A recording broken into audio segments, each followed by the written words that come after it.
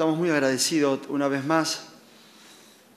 La verdad que uno lo cuenta y lo dice por ahí, por ahí llamo a mis tíos en Argentina y le digo que hay 27.000 personas en el estadio del Oviedo y, y no me creen en un partido de segunda vez para festejar un campeonato.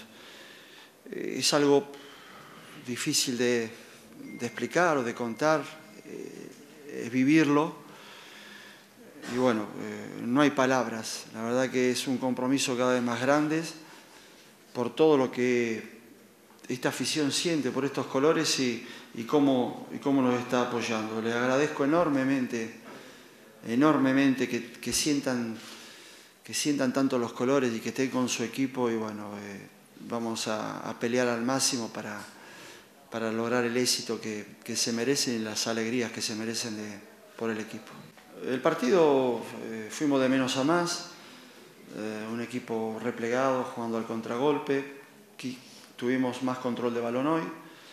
El eh, primer tiempo tuvimos otra ocasión, el segundo tiempo ya variamos un poco el sistema y tuvimos totalmente el control y varias ocasiones. Y bueno, me gustó, me gustó la posesión, me gustó la pelota rápida contra un equipo que, que había hecho una segunda vuelta muy buena y que venía al Tartiere a intentar sorprendernos con, con algún contragolpe o una acción de balón parado.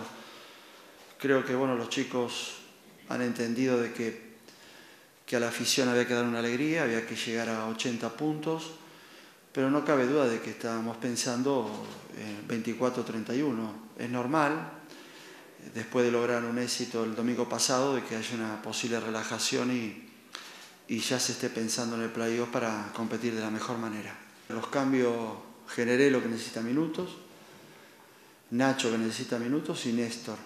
Nacho un mes parado, Néstor 10 días e intentábamos darle un poco de ritmo para que en Coruso también continuaran con ritmo para que no llegaran al, al, al playoff sin, sin haber jugado. Entonces solamente podemos hacer tres cambios y Diony lesionado, Sergio Sánchez lesionado, eh, Charlie lesionado, eh, tocado, entonces sabes que somos una plantilla de 18 futbolistas con dos porteros, 18 que lo tenemos que variar y, bueno, intentamos intentamos no, no disfigurar mucho al equipo que pueda competir domingo a domingo.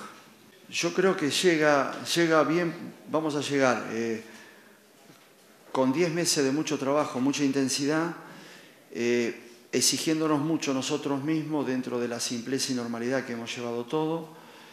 La verdad que firmaría muchos años así, pero no cabe duda que internamente eh, hemos tenido un trabajo muy grande los futbolistas han respondido, no para menos, Oviedo necesita plantillas así, competitivas, que ganen partidos y que después, bueno, primer paso playoff, segundo campeonato y al tercero buscar subir.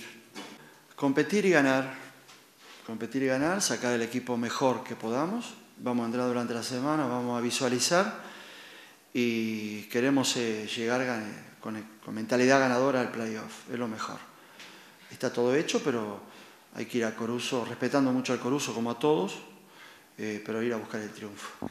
Bueno, eso eh, intentamos, ¿viste? en la semana hay que trabajar, hay que entrenar, hay que tener una dinámica, nunca se sabe lo que puede pasar, pero estamos mirando mucho, estamos visualizando mucho para que las cargas sean las correctas. Yo le temo mucho a los problemas musculares, el problema muscular ahora ya es definitivo. Entonces, bueno, vamos a llevar una semana, tampoco podemos bajar mucho porque sabemos que, en el fútbol hay que llegar a tope físicamente y, a 180 minutos que nos vamos a, disputar. Entonces, eh, trabajaremos como estamos haciéndolo, el cuerpo técnico muy bien, todos trabajando de, la mejor manera y con los futbolistas con una gran predisposición.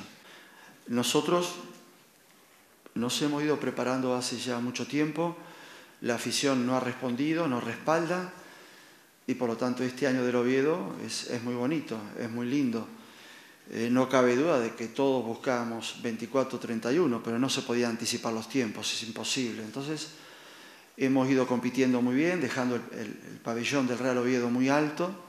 No es fácil competir en esta división, y más contra el Oviedo, que hay una motivación especial todos los domingos por ser el equipo a batir.